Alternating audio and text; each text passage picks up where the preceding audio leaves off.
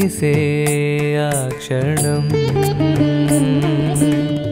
అణువునణువునా వాడే నిండెరా జ్ఞానం జ్ఞేయం అంతా తానురా. సత్యం తెలిపిన నాదమే వేదం. సత్యం తెలిసిన జీవుడే బ్రహ్మం. సత్యం తెలిపిన నాదమే వేదం సత్యం తెలిసిన జీవుడే బ్రహ్మం ఆర్ష సూఫీ వేదాంత సారం. ఆర్ష సూఫీ వేదాంత సారం విన్నా కన్నా కరమునందున మలకం బ్రహ్మైక్యం ప్రజ్ఞానం బ్రహ్మా. ప్రజ్ఞానం బ్రహ్మా.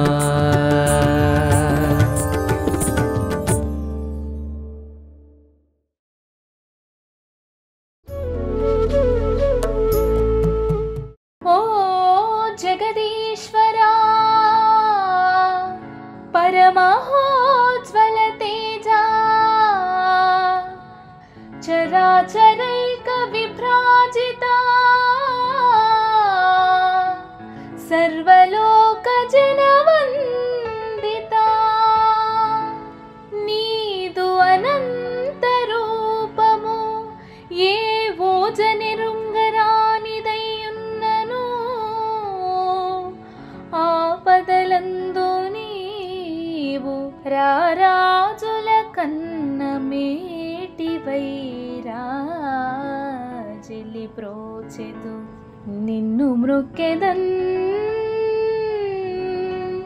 నిన్ను మృక్కెదన్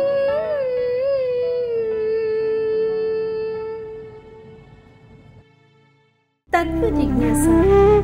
తత్వ జిజ్ఞాసలో ఈనాటి ప్రశ్న దేనిని విడుచుట చేత మానవుడు అందరికీ ప్రీతిపాత్రుడు అగును? ఆలోచించండి. సమాధానంతో మళ్ళీ కలుద్దాం.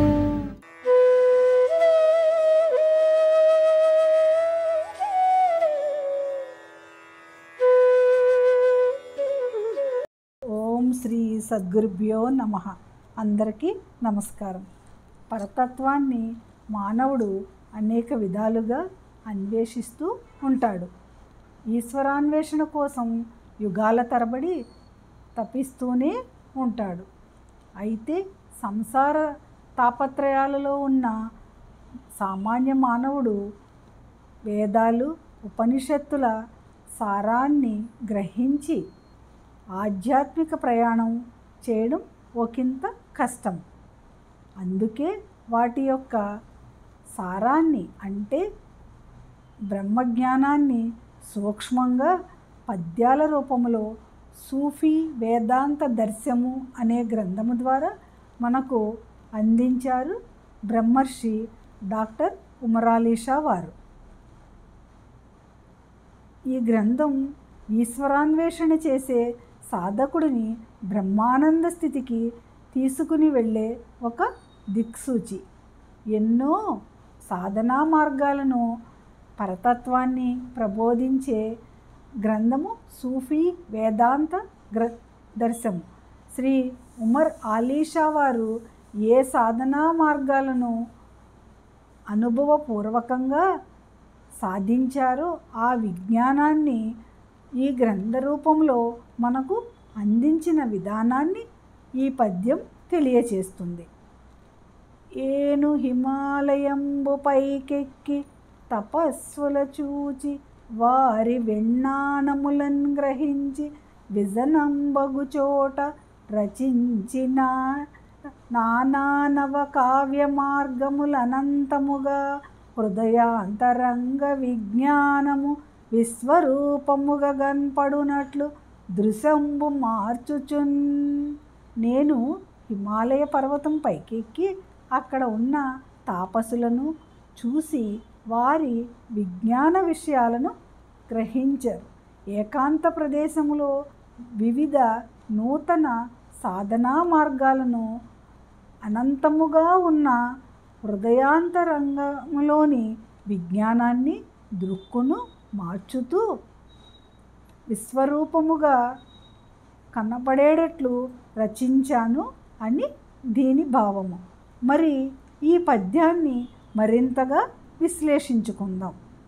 ముందుగా ఏను హిమాలయంబు పైకెక్కి తపస్సుల చూచి వారి విన్నాణములను గ్రహించి విజనంబగు చోట అని అన్నారు. డాక్టర్ ఉమరాలీషా వారు అఖిల భారత శాసనసభకు ప్రతినిధిగా ఉన్నప్పుడు సిమ్లా వెళ్ళి అక్కడ నుండి హిమాలయాలలో కొంతకాలం నివసించారు. ఆ హిమాలయాల పైకెక్కి తపస్సమాధిలో నిమగ్నమైన ఋషులను మునులను దర్శించారు. వారి యొక్క అనుభూతులను రహస్యాలను నిశితముగా గ్రహించారు.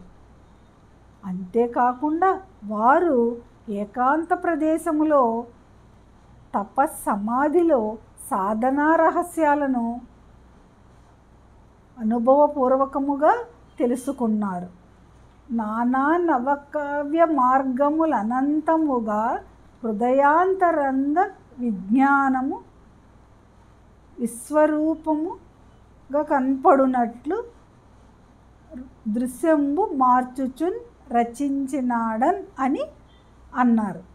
ఈ ప్రపంచమంతా నిజానికి బ్రహ్మస్వరూపమే అయి ఉన్నది.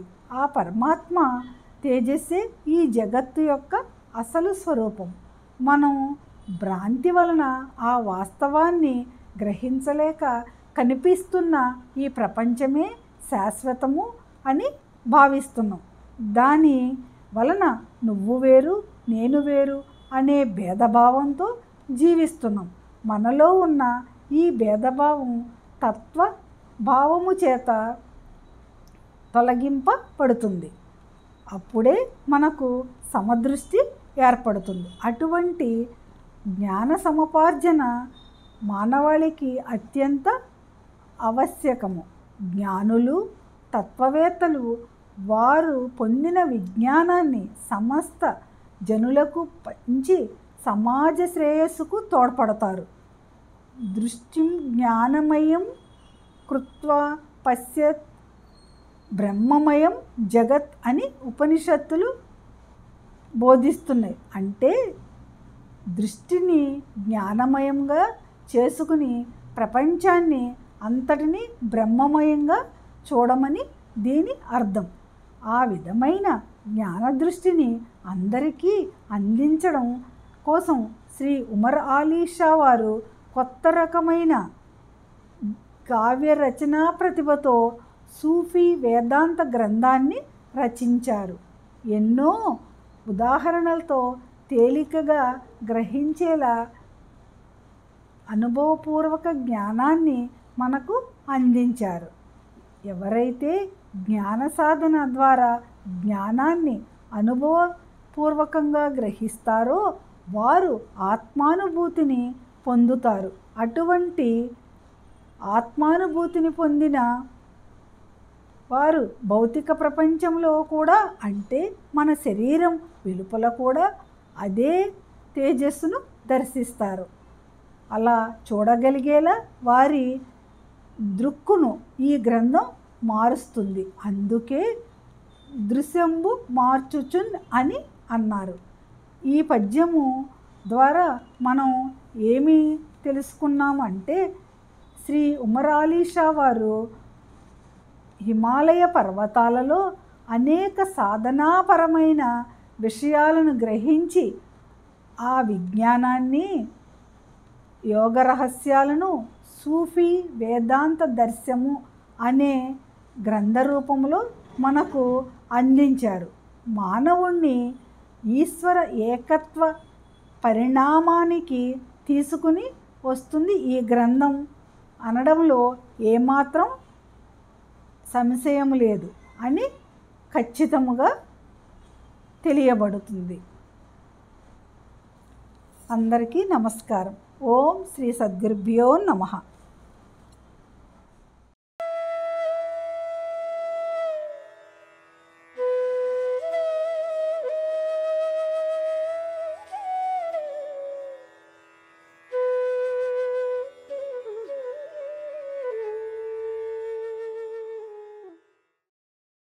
ఓం శ్రీ సద్గురుభ్యో నమ. అందరికీ నమస్కారం. సూఫీ మరియు ఆర్షతత్వంలోని అన్ని రహస్యాలను ఏ గ్రంథంలో దర్శించగలమో ఆ గ్రంథమే సూఫీ వేదాంత దర్శం ఆధ్యాత్మిక తత్వ సౌరభాలతో విలసిల్లుతున్న ఈ గ్రంథమాలని బ్రహ్మర్షి శ్రీ కవిశేఖర ఉమర్ ఆలిషా వారు రచించారు. ఈ గ్రంథ రచనా కాలంలో వీరు శ్రీ విశ్వవిజ్ఞాన విద్య ఆధ్యాత్మిక పీఠాధిపతులుగాను మరియు మద్రాస్ ఉమ్మడి రాష్ట్రానికి సెంట్రల్ ఎమ్మెల్యేగాను ఢిల్లీలో ఉన్నారు. తత్వంలోని అనేక మార్గాలను వారు అనుభవపూర్వకంగా గ్రహించుకున్నారు. ఈశ్వర రహస్యాన్ని తెలుసుకునే ఒక సులభ మార్గాన్ని వారు గ్రహించి జిజ్ఞాసులకు ఆ మార్గాన్ని ఈ పద్యం ద్వారా తెలియజేశారు. ఇప్పుడు ఆ పద్యాన్ని మనం విందాము. నాలో ఉన్నవి నేను చూసినవి విన్నానంబులై లోకమందాలోకింపగరాని ఈ అమర విద్యాతత్వ మర్మంబులందు ఏ లోటును జనియింపదు ఈశ్వర రహస్యేకైకము ఈ మార్గమే మేమేల దాచెదమంచు చెప్పితిమి మీరిధాత్ములై తేరగన్ ఆ. నాలో ఉన్న నేను చూసిన విజ్ఞాన విషయాలు సామాన్యంగా లోకంలో చూడటానికి వీలు కాదు.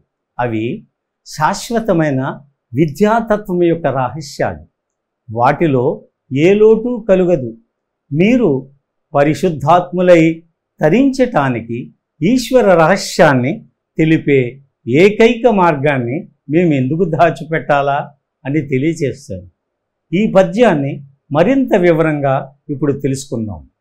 ముందుగా నాలో ఉన్నవి నేను చూసినవి విన్నాణంబులై లోకమందాలోకింపగరాని ఈ అమర విద్యాతత్వ మర్మంబులందేలోటును జనియింపదు అని అన్నారు.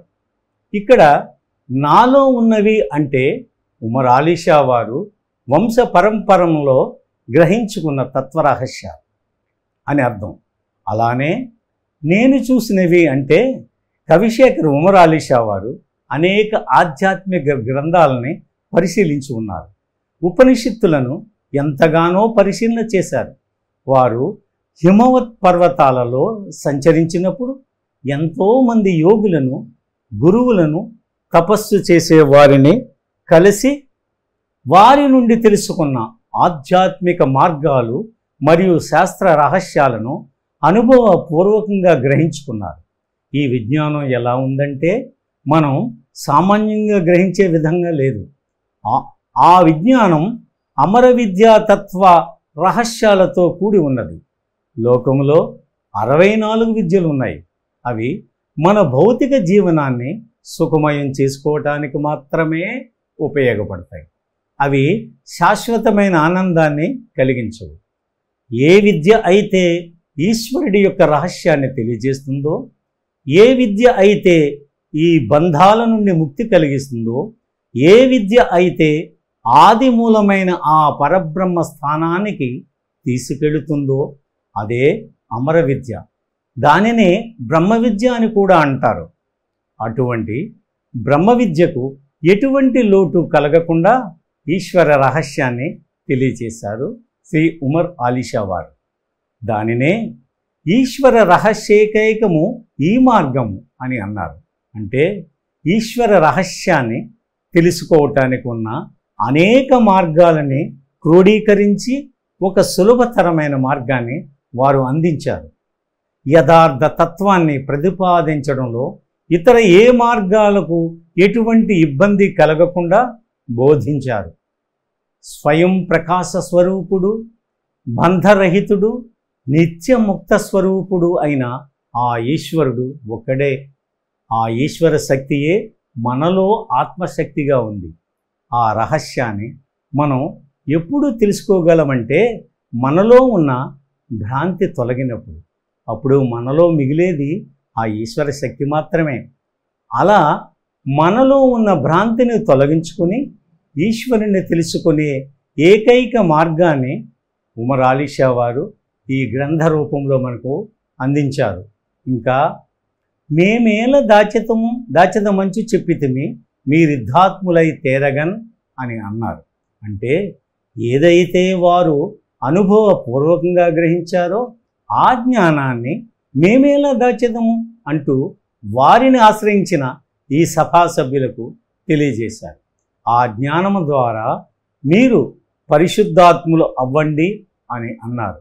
అంటే ఈ ఆధ్యాత్మిక తత్వం ద్వారా హృదయంలో ఉండే మలినాలు అన్నింటినీ తొలగించుకుని హృదయాన్ని పవిత్రము చేసుకుని తరించండి. అంటే హృదయం ఎప్పుడైతే పవిత్ర చెందిందో ఈశ్వరుని యొక్క శక్తి అయిన ఆ ప్రేమ మన హృదయంలో ప్రమే ప్రవేశిస్తుంది. ఆ ప్రేమతో నిండి ఉన్న హృదయంతో మనము అందరితోటి ప్రేమగా జీవించగలము. అటువంటి వారే జిజ్ఞాసులు.